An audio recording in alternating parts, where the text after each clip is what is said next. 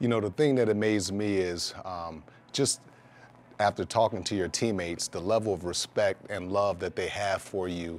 They love playing for you, they love playing with you. What does that mean to you? That means everything to me because I try and be as authentic as I can um, and wear my emotions, what I'm thinking, everything on my sleeve in the building just so we're all on the same page. To where if anything's going wrong, we can get it fixed and everything's going right, then guys can know just that encouraging spirit to have. Um, that's truly what you want to strive for being a captain, being a leader, is to have that respect and have that love for your teammates, and it's definitely reciprocated for me. You told me off camera that these are the right group of guys. Why do you believe in these guys so much? We've stayed the course um, from day one, and I can speak personally just based on our offense. Coming in with a new system, guys learning that system, a lot of guys with experience, some guys with being brand new, and everybody just embracing having to start from day one from scratch and um, just stay in the course. We didn't reinvent the wheel when we were going through struggles midseason. We just tightened it up, worked on the details, focused on the little things, and said, listen, we can control this, we can take it as far as we want. Now we just have to go do it. You've gone through some sort of adversity, four teams in 20 months.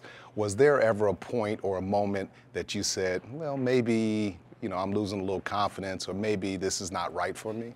There was definitely times where I lost confidence, where I um, had to take a step back, look in the mirror, and, and think about you know, am I doing something wrong here? What, what can I do to, to fix some things? And uh, what it came down to is controlling what I can.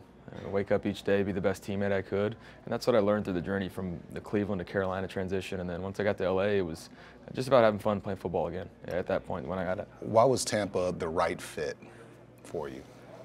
I was close with Coach Bowles coming out in the draft. Just knew what type of guy he is, um, and from the very beginning, uh, during even those pre-draft meetings, he said, if we get you here, just be yourself, be the same leader.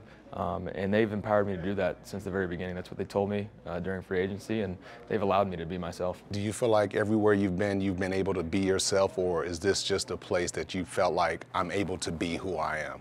This is definitely the most comfortable I've ever been. And part of that comes with the experience and learning the lessons that I've had to go through along the way. And I'm grateful for that because it's, you know, it teaches you how to handle certain things when you go through it. And then you're able to feel comfortable in some uncomfortable situations later on. What was the biggest challenge in replacing a legend like Tom Brady? um, I mean, from day one, it's everybody's going to be talking about it, but I'm not Tom. I understand that Tom's the greatest quarterback of all time, but I don't play like him, um, and we, we carry ourselves a little bit differently. But everybody should do it in their own way, and I think that's the, the best thing about sports and leadership is do it in your own way. When did these guys accept you as their leader? Is, was there a moment in time? Was it when they named you captain? Was it before um, that? I think for some guys early on in the spring, some of the guys that I really got to know uh, just during OTAs and mini camp and all that. Then training camp once we got to be around everybody. Just the, I think the competitive fire once we were really, really with the pads on competing against each other. Um, I think they saw just who I was from the very beginning. You and Jared Goff, both former number one picks. What do you see in his journey that inspires you?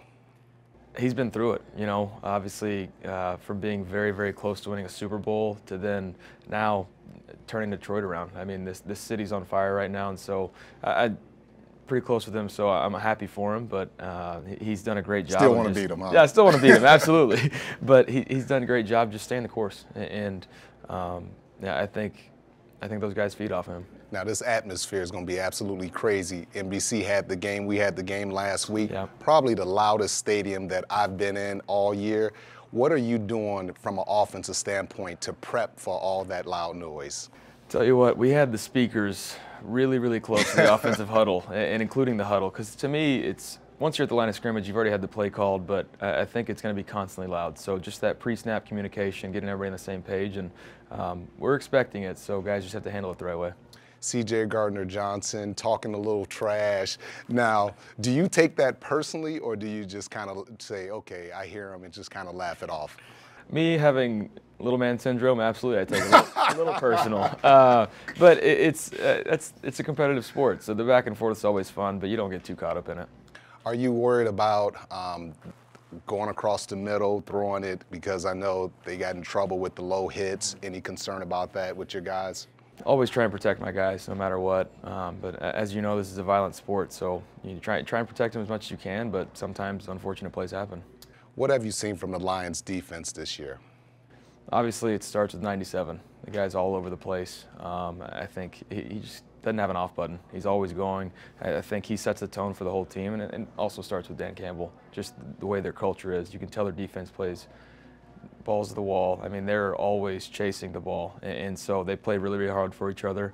Um, and I think their front allows their secondary to play aggressive. With that aggressiveness or that style of play in the secondary, they also give up a lot of big plays. So I know you've seen the big plays that they've given up.